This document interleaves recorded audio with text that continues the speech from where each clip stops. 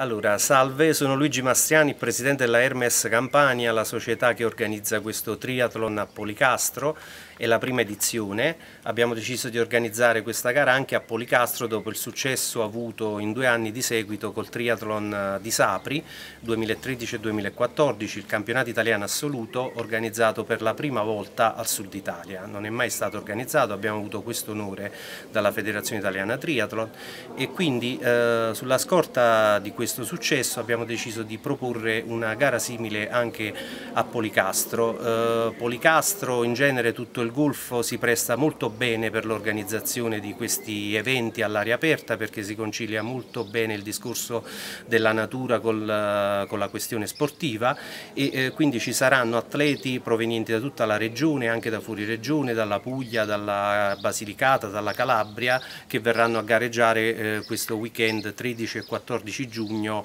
a Policastro. E adesso passo la parola al tecnico della società che eh, spiegherà brevemente i percorsi. Buonasera, io sono Roberto Fonseca, sono il tecnico della società, vi parlerò brevemente di quello che saranno i percorsi. I percorsi si svilupperanno una, in un'area centrale che è la zona cambio dove passeranno tutte e tre le frazioni che sono il nuoto, la bici e poi la corsa. Ci sarà un olimpico il 13, il sabato, e lo sprint la domenica. L'Olimpico, le distanze sono 1500 metri di nuoto che si faranno sull'esterno del porto aggirando due boe e poi si ritornerà sulla spiaggia. Gli atleti torneranno nella zona cambio, prendono la bici e vanno in bici verso diciamo, Torre Orsaia. Ci sarà un giro di boa dove torneranno e faranno 5 giri. Ritorneranno in zona cambio e poi di corsa faranno due giri del paese passando per il centro del paese quindi sarà molto bello, molto caratteristico. Per quanto riguarda lo sprint invece eh, le distanze sono dimezzate quindi 750 metri di nuoto 20 km di bici e 5 di corsa.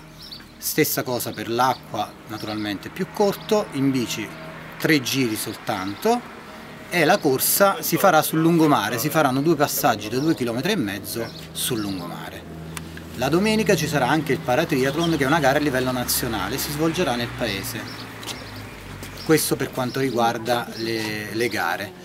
Altra cosa che bisogna dire, noi questo weekend siamo stati a Porto Sant'Erpidio per i campionati giovanili, proprio sulla scia dei campionati italiani e stiamo costruendo e ci stiamo organizzando per far crescere i ragazzi. Lui è uno di questi, si chiama Vincenzo San Martino, che è arrivato 17 assoluto nella categoria Yacht B e nello sprint che è stato fatto ieri è arrivato primo della sua categoria, quindi ci sono ottime speranze per lui.